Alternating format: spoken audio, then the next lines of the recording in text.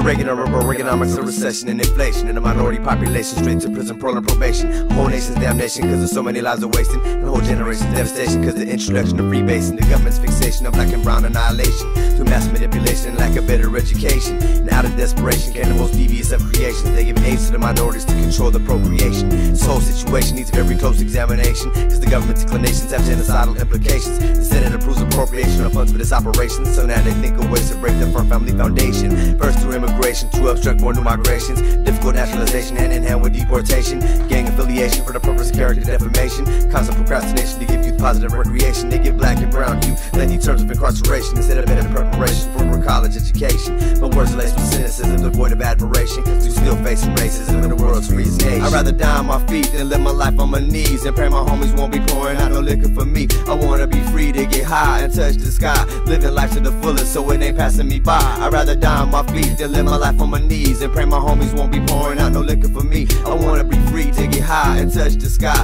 living life to the fullest so it ain't passing me by. Politicians of today be filled with righteous indignation, quote passages from the Bible, book of Genesis to Revelation, speak about salvation and of their moral obligation, succumb to the temptation of out of wedlock fornication. For judicial violations, they seem to never face litigation. Instead of termination, they receive absolute vindication. They use the threat of violence to ensure intimidation, to continue the exploitation and molestation of the nation. They subject my blood relations to almost constant brutalization, cause there is no legislation to protect you at the police exoneration if your skin has pigmentation, only the degradation of a state-funded vacation. There are no exaggerations in all my heated accusations, but bitterness and frustration are behind all my realizations. This is his own actions are my very best corroboration.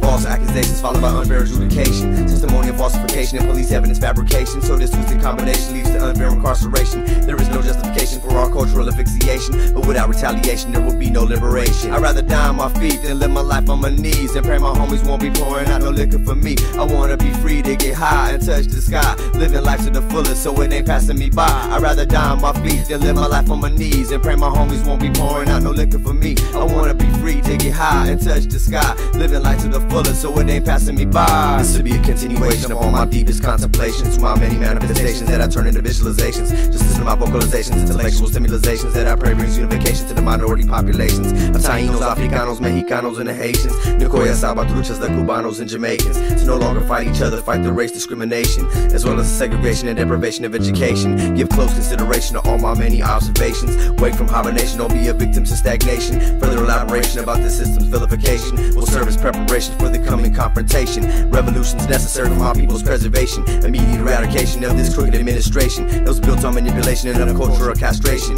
Now meditate on that and blow some herbal medication. I'd rather die on my feet than live my life on my knees and pray my homies won't be pouring out no liquor for me. I wanna be free to get high and touch the sky, living life to the fullest so it ain't passing me by. I'd rather die on my feet than live my life on my knees and pray my homies won't be pouring out no liquor for me. I wanna be free to get high and touch the sky, living life to the fullest so it ain't passing me by.